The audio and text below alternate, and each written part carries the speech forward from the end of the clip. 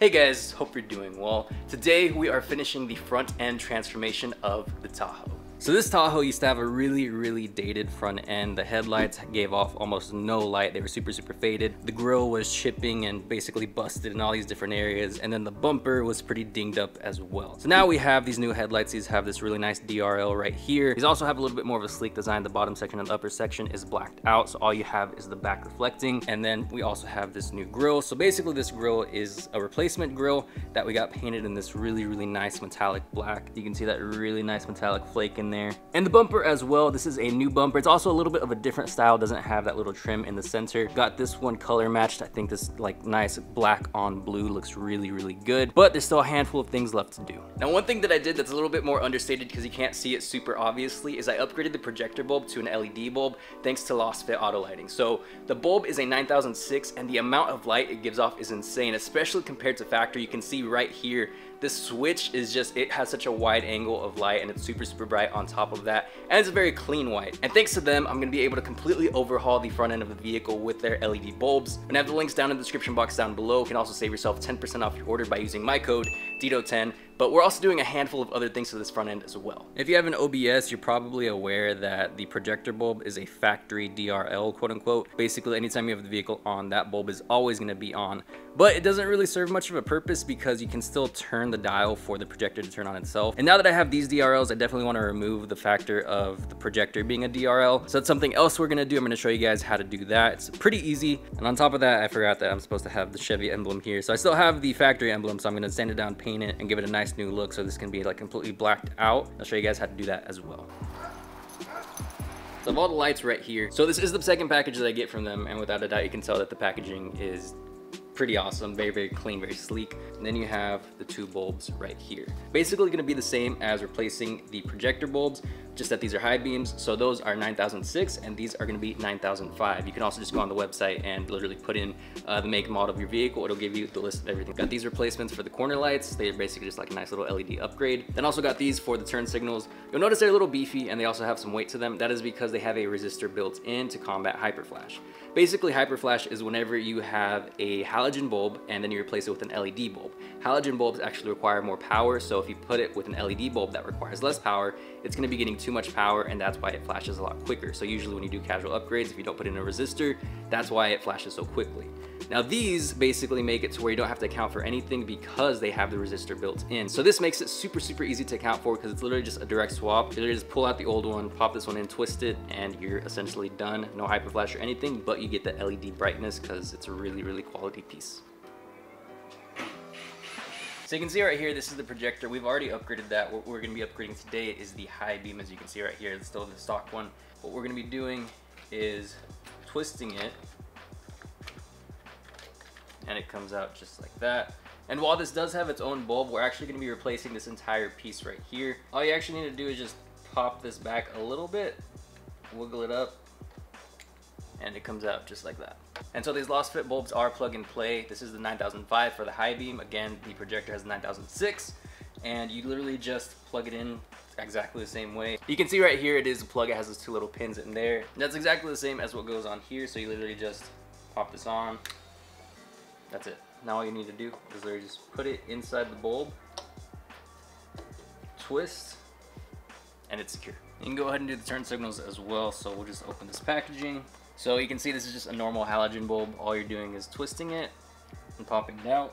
And you'll see this has its two little anchor points right there. Also has that small little notch right there. And that lets you line it up. And that helps you line it up because there are these little indentations right here for those notches. So you just put it in there, squeeze it, and twist. And there you go.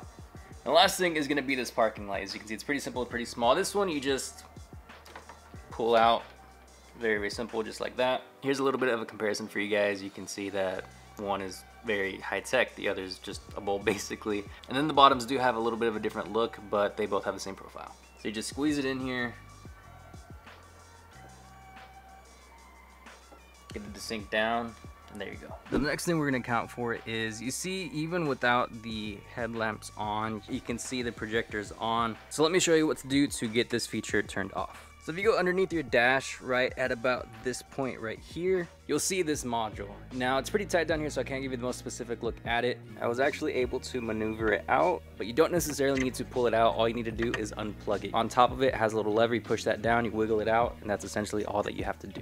Okay, so we got it out. This is essentially what it is, and it's literally just the one plug. Basically, press it on the top, and it comes out. That is how you get rid of your factory DRLs, and now this looks a lot better. Now that we've got all the lights set up, we can go ahead and move on to the bow tie, which I did find. Uh, and as you can see, it's a little scuffed up. So what I'm gonna do is I'm gonna be sanding it down just to get it all smooth. And then from there, I'm gonna shoot it with some primer then some gloss black, and then some clear coat, kind of as a protectant. You can definitely go about this a lot more of a professional way if you wanted to get it professionally painted or even a replacement piece. But this is the easy DIY way to go about it. It's only about 20 bucks for all the paints and basically everything that you're gonna need with the sandpaper and whatnot. And I have made a video that goes a little bit more in depth on how to do stuff like this. I'm gonna link that in the top right corner. But other than that, let's go ahead and get started. All right, it has been sanded. We're gonna start off with this Rust-Oleum primer, then this gloss black, then the clear coat. Just make sure that you read the instructions and whatnot because they are gonna have different dry times and whatnot. So little guidance right there. All right, we got the primer on. Next is gloss black. We gotta let this dry first. All right, that is the gloss black and now we can move on to the clear coat. So here it is all complete so we can go ahead and put it back on the grill. From there, we can start reassembling everything. And just like that, the front end for the Tahoe is complete. So as you can see, the factory DRLs with the projectors are no longer on, got that removed, and now it's just the new DRLs, which I really, really like. We also got the emblem back on and painted. You can see the new turn signals in there, as well as this corner light right here. It all came out really, really well. So let me go ahead and turn on the hazard just so you can get some perspective how they're looking. So you can see right here, it's really bright. Basically, as soon as they turn on, you really can't see any details in the actual housing. Another thing I did for these corner lights is I got a Sharpie and basically just blacked out the plug itself. Because it's like a whitish color and it was very distracting so this way it doesn't really draw any attention and here you can get a little close up and this is not them flashing this is literally just them on so front end is complete and I could not be happier with how it came out now, as for the turn signals, you are gonna need to let them run at least for, I don't know, like 30 seconds or so, um, because as soon as I plugged it in and I turned it on, there was a hyper flash, but I let it run for about a minute or so and then it went away. So it's basically just like a little activation type thing. I'm not really sure, I don't know the specifics of it, but nonetheless, the hyper flash is completely gone. So, so that's the left turn signal right there. As you can see, it is blinking normally. And pop this up to the other side and there you go. Just literally an led swap. Really really easy to do. Very very much recommend them. Again i have a link in the description box down below and you can use my code as well. So here's a little walk around of the vehicle as she sits. This is with all the lights on. Next thing we're going to be doing is getting the new wheels installed uh, in a couple days. And here you can see the new dash and I did already do the bench seat conversion, but I do think I'm gonna be able to actually get them reupholstered sooner rather than later. So I'm probably gonna do all that in one video as opposed to just an install video. Then around here, you have the tail lights. So she's coming together and definitely a lot of progress has been done. So shouldn't be too, too much longer until she's ready to go. But that's gonna do it for this video, guys. Thank you so much for watching. I hope you have a great rest of your week, and I will see you in the next one.